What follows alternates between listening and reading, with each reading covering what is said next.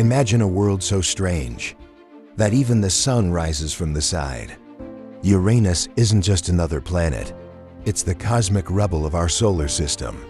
Scientists discovered that Uranus spins completely on its side, as if some ancient, invisible force knocked it over. Its seasons last 21 years each, meaning an entire side of the planet can stay in total darkness for decades. And here's the part nobody expects.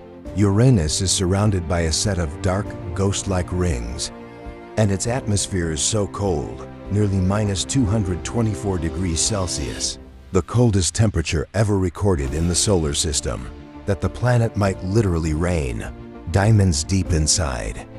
Some astronomers even believe Uranus hides a mysterious ocean beneath its icy layers, one filled with super pressurized water that behaves like no liquid on Earth. Make sure to subscribe to my YouTube